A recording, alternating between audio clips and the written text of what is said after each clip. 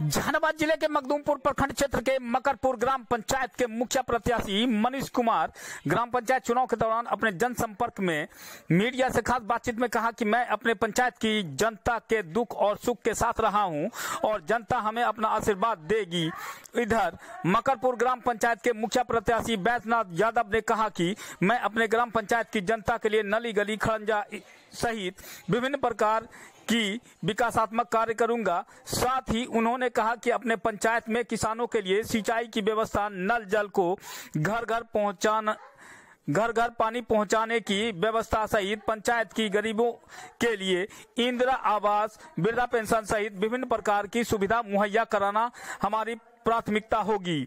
इधर छरियारी ग्राम पंचायत की मुखिया प्रत्याशी मालती देवी ने मीडिया से खास बातचीत में कहा कि जनता हमें अपना आशीर्वाद देगी। उन्होंने कहा कि हमारे पंचायत में कुछ गरीब लोगों को इंदिरा आवास के तहत लाभ मिला है, कुछ को नहीं मिला है। उन्होंने कहा कि मैं गरीबों की सेवा करना और हर वर्ग की मदद करना हमारी प्राथमिकता होगी। जनता हमें साथ देगी और काम करने का अवसर प्रदान करेगी। दिनेश कुमार की रिपोर्ट।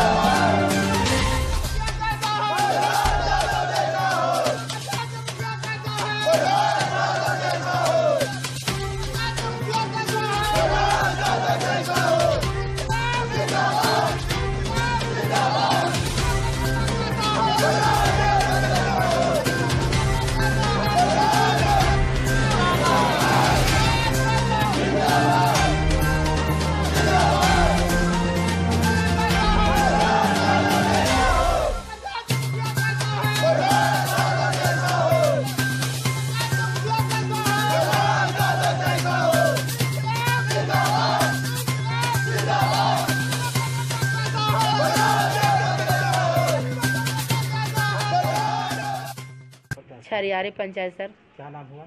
मालती देवी। मालती देवी। क्या क्या मिशन है आपका? मिशन है कि सबके विकास करेंगे जीतेंगे तो काम करेंगे। काम हाँ जी। अच्छा ये बताइए कि आपके पंचायत में कितने गाँव हैं? चौदह गाँव है। चौदह गाँव जी। लोगों से क्या अपील करेंगे? लोगों से अपील करते हैं कि जीतेंगे तो सबको विकास देंगे।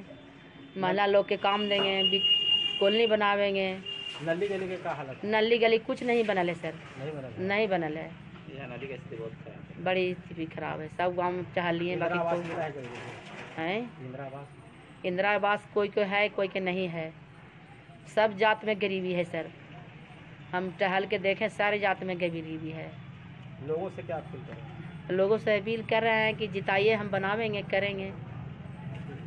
पंचायत से मुखिया प्रत्याशी हैं। मकरपुर ग्राम पंचायत क्या नाम हुआ सर? बैजनाथ यादव। मुद्दा क्या का होगा पंचायत में? मुद्दा है कि first pension for all senior citizen and widow. शौचालय सभी घरों में।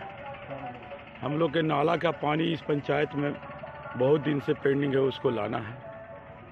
और सभी जगह जो छूट गया है नली गली उसको कंप्लीट करना है। ये पंचायत बहुत ही पिछड़ गया है। पंद्रह वर्षों में। बहुत इसलिए सारे उम्मीदवार हैं आप कहाँ देखते हैं अपने हम अपने आप को विनिंग कैंडिडेट में देखते हैं। अपील क्या करेंगे? अपील यही रहेगा कि इस मुद्दा पर और विकास के मुद्दा पर हम लोग सभी वोट करें और vote for B N Yadav Baijnath Yadav बताइए कि आपको जनता आखिर वोट क्यों दे? सबसे पहले तो आपको मकरपुर के जनता की ओर से बहुत शुभकामना और धन्यवाद। जहाँ तक बात रही जनता क्यों वोट दे? जनता को चाहिए कि हमारा जो भी जनप्रतिनिधि हो वो हमारे लिए दुख सुख और विकास में सम्मिलित हो। तभी जनता को आप दिल जीत सकते हैं। और उसी सिद्धांत पर हम लोग विकास का मुद्दा बनाकर पिछले पाँच साल से काम किए हैं। और सारे गरीब गुरबा के पंचायत का आशीर्वाद हम लोग को मिल रहा है और विकास ही मेरा बुंदा, मुद्दा है। पिछले साल भी रहा है और मेरा नारा भी है। काम करेंगे काम करेंगे, झूठा वादा नहीं करेंगे। इसलिए हम लोग काम पर विश्वास रखते हैं। हम लोग किसी जाति, किसी धर्म के राजनीति करते नहीं हैं। हम लोग सभी जात के एक साथ लेके चलने का विश्वास करते हैं। जैसे गाँव में घूमे होंगे, कुछ ऐसी समस्या रही होगी जो छूट गया होगा।